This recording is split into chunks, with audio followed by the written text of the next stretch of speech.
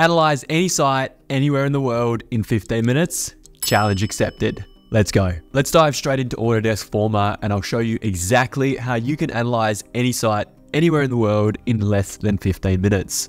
So once we arrive at the Autodesk Forma homepage, we can either start our free trial or we can access our hub and sign in directly. Once you found your way into the Autodesk Forma hub, you'll see a screen very similar to this. What we want to do as our first step is start a new project, of course. So top left-hand corner, you're either going to see new project, or if you don't have any projects yet, you'll see these two spaces as well. Once the main screen is loaded up, you'll be able to type in an address. Anywhere in the world that you'd like to analyze a site, we can go ahead and start searching. In my case, I want to do something close to the city and somewhere in Western Australia. So let's just type in a random address you'll see that it automatically takes us to this space and we can zoom in and out using our scroll wheel to confirm the map area. Now, the selection of the map area is relatively important because the more we zoom out, the more information we're going to take.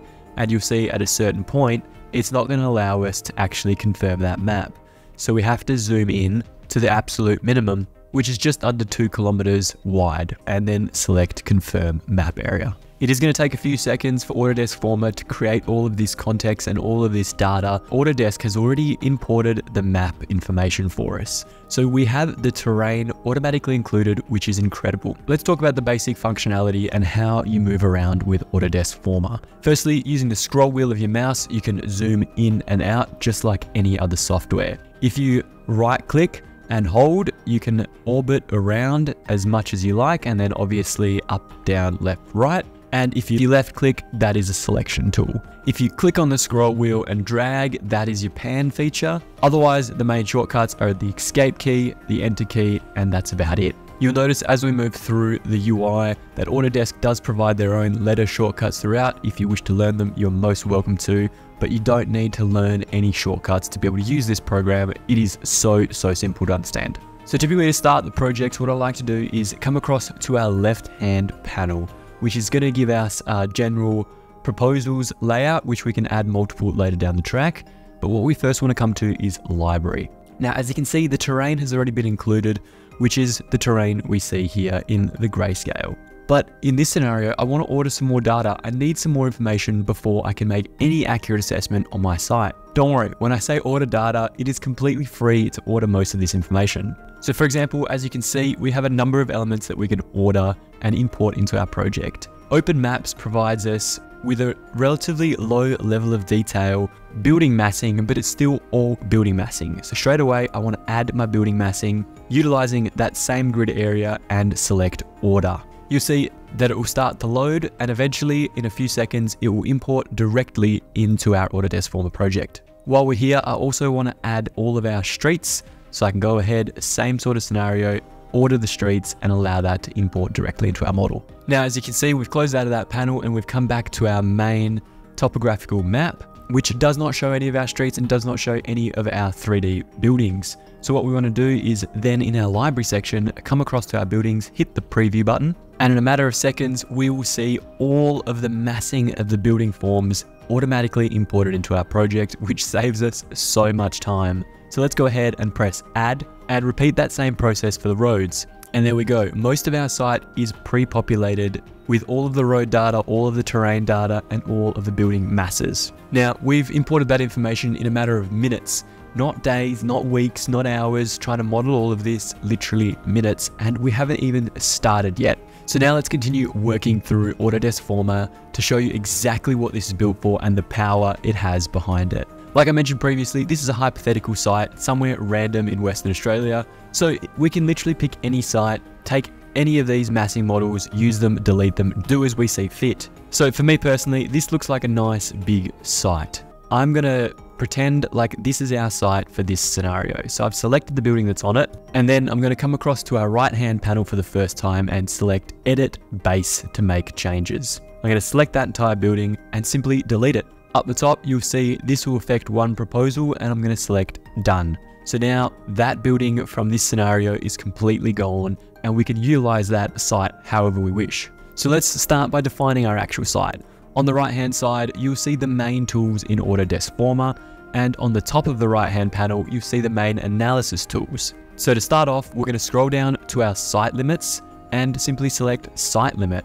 All we have to do is start drawing. If you're finding it challenging to draw in 3D, you can come across to the bottom toolbar and select 2D so that we're looking down from a floor plan perspective. So in this scenario, I'm be expecting the site to be most of this dotted line all the way to the rear footpath. Again, hypothetical, so it could be smaller, it could be bigger, but for the purpose of this, I've gone around, clicked all of my corners and created my site. It will be automatically defined in red. So if we scroll out, visually we can straight away see exactly what our site looks like, exactly where our site is, and we don't have to worry about trying to relocate that later down the track. Now that we've defined our site, we can take two paths. We can either start modeling and creating different shapes and forms and functions, multiple stories, introducing landscaping, and then analyzing to see how that building performs, or we can analyze the site itself prior to see how this site functions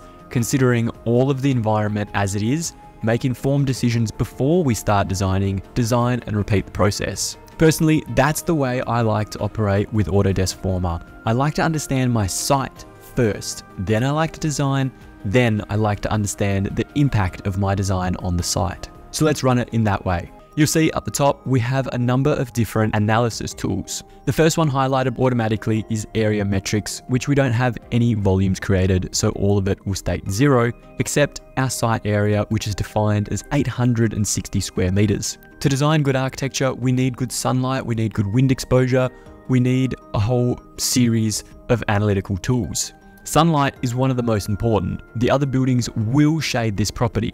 So I need to understand exactly what they're going to do and how they're going to do it. By selecting sunlight, we can then simply come to the bottom and hit run analysis. That analysis won't take very long at all. It will analyze this entire site and in a few seconds, it will tell us this report is ready for us. Whilst that report is running, I want to do the exact same thing with wind and microclimate once we've started our analyses, we'll see little dots appear above the icons where we've started to run the analysis. As you can see, the dot above the sun is green, which it means is ready for us to view, whilst the wind is still going on in the background. So let's jump across to our sunlight hours and then press open analysis. What we'll then see is a heat map generated by Autodesk Forma, which is relatively easy to understand. Down the bottom, you have a sliding color scale yellow being almost 9 10 hours of sunlight a day, and the dark blue being almost none. So the brighter the image is, the more sunlight it's going to get. The darker it is, the less sunlight it's going to get.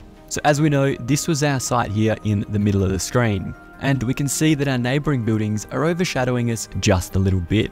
Now, of course, we could try and analyze and guess what these colors are depending on how good our vision is, or of course, we can come up to the top, select the inspect tool, and then click anywhere we need. So we'll see that as we click through this, Autodesk Forma is automatically telling us how many hours of sunlight each particular space is going to get throughout the day. What this tells me as an architect is we want to be designing closer towards this side of the property, utilizing as much of this as we can, opening up the back courtyard, and at the same time knowing that we're not really going to be overshadowing much except the road. Moving over to our solar analysis study, we'll see very similar information. All of the rooftops in this particular area are doing very, very well. Most of them are going to be able to perform very efficiently with solar panels. Moving on to our microclimate, we're going to see a number of things available to us straight away. By the color spectrum at the bottom of the page, we can see it is quite hot straight away at 2 o'clock in January. But if we come up to the top and use our inspection tool, we'll see it ranges from 34 degrees all the way to 36 degrees on our site. Now, because our wind analysis is also completed, we can adjust our temperature statistics based on the wind. Let's change the wind to our easterly direction and we'll see we're getting a very different heat pattern on this site. In the middle of the site, it's almost 37 degrees, whilst in those wind corridors, it's cooling it down to 34. So overall, we're seeing quite a good cooling effect from the wind tunnels. If we change over to June, for instance, in the middle of winter, we'll see the same scenario. The middle of the site is the hottest whilst the outer edges towards the road are quite cool. If we change to a southerly breeze, of course, we'll see something different once again, and the site is a little bit more consistent overall now. Coming into our wind analysis tool, while it's still analyzing in the background for full data to be able to use with other analysis tools, we can see our general information within our circle. Just like everything else, we have our color spectrum down the bottom, which tells us the strength of the wind itself. You see, generally on our site, it's comfortable, it's standing, it is not sitting, we're not protected. But these three buildings behind are generally protecting their backyard spaces. So now we know that we have to create our own comfortable seating areas throughout the house to be able to actually execute this properly. We'll also see that these main roads, the two in front and below, running east to west have strolling winds, meaning that these roads are corridors for wind tunnels. Thankfully for us, the north and south roads aren't as bad, but we are still picking up a couple pockets where the wind does increase. So from this information, we know that we're not going to be able to design anything at the front that is going to be generally comfortable for sitting. It is going to be comfortable for standing, but we are going to feel that breeze coming through. So now that we've gone ahead and analyzed everything we needed to for this site, we can start developing some ideas. And to do that, we're simply using the tools within Forma. So we can come to buildings and create a basic building, a line building, or a house. We can utilize the vegetation, of course. If we wanted more accurate data on roads and railways, we could include that ourselves. Otherwise, we can enhance our modeling with general volumes and surfaces and geometric 3D sketches. If we're using Revit, we can import our Revit model directly into Forma so that we don't have to model it in Forma at all. But because this is a Forma tutorial, that's exactly what we're going to do. Let's come back up to top to buildings and let's go for a basic building. Now I'm going to come back into my 2D plan view and create a custom L-shaped building. So by simply clicking through and finishing where I started, I can create an automatic 3D building. Going back to 3D, it has created a four-story monolithic space, which it really doesn't need to be. This is either going to be a two-story home or even a single-story home, so all we need to do is select the top of our building that we've created, hover over the dot in the middle and drag it down to two stories or where we're happy. Now, if we wanted to edit that in any way, shape or form, we could simply double click on our main building, select one of the nodes and start adjusting spaces. So if we wanted a little bit more of an angled building, we wanted something a bit more creative, we could go ahead and do that very easily. To finish, we simply press enter and we exit out of that editing mode. If we wanted to introduce a line of trees or areas of vegetation, we could simply come down to vegetation down below, click through the same way we did our buildings and trees will automatically be created. Now, if these trees are too big, too small, we can select that line of trees and we'll see vegetation down the bottom. The height of these trees, potentially we only want them to be three meters. The spacing, maybe we want to be two meters and the width potentially is two meters as well. So now we automatically have updated trees for our model following the terrains, following the building line. Now at the beginning of this video, I said our area metrics are automatically selected and they're all zeros. If we're not selecting our building, it's going to remain a zero. If we select our building, it is going to provide our ground floor area, which we can assign as residential, commercial, unspecified, or add our own information in. So by simply coming down to the bottom, selecting residential, it will turn yellow and we know that building is residential. If for whatever reason your building isn't shown as yellow when you've changed the function, make sure you come down to the bottom, select the display options and change your building colors from unit types to functions. The same applies if you wanted the satellite image turned on, the terrain showed, or the shadows at a different time. So in real time, I know that all of this area in the middle of winter is automatically going to be shaded by my building. So maybe I need to actually think about this further and reduce this massing. So instead of selecting that whole building from the top roof section, I can come to the side and select just the upper floor. And in that scenario, by selecting the upper floor, I can drag that back, open it up, and automatically reduce the shading on the ground floor below. Now we can go back and rerun our analyses to understand how this is impacting our site, how it is impacting the environment that we've created. So if we simply run a sun analysis again, we can view our model and how it is impacted. After we've run our basic analysis, decided that we need to make some more changes, what we can actually do is come back to our three lines up the top to where our proposals are and duplicate this proposal. So by right clicking on those three dots and duplicating, we can rename the proposal as well to proposal 2, and then we can go ahead and start changing our massing so we can compare directly models with the analysis we've run. So let's go ahead and quickly adjust this model here, adjusting the massing as we see fit, updating for the information that we've learnt so far. And then when that is completed, we can go up to the top and compare. So when we enter our compare screen, all we need to do is select the proposals we want to compare. So in proposal one, we got, want the latest version of the sunlight, drag and drop on the left screen, the right screen, wherever you prefer. Proposal two, same scenario. We want to see the sun.